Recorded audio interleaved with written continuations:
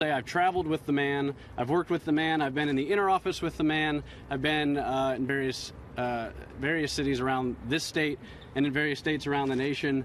Um, I've seen him with crowds of thousands, and I've seen him one on one, and I can say without a shadow of a doubt that the man has been nothing but honorable and trustworthy and honest to me and to anybody in his presence, men and women alike. Uh, I supervise his staff over the past four years, three, three, three years or so, and never heard a, a, single complaint by anybody about inappropriate behavior or uncomfortableness. So I just wanted to state that clearly, uh, as Philip has done, and as everybody who knows Judge Moore well will say,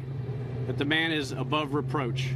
And it's why we stand here today, not because he's a man guilty as charged, and we're going to stand by our man anyway, but because we don't believe a word of these lies against him, and we know them to be false. We want not, not only to see him succeed in the immediate fight ahead of him, but to clear his good name.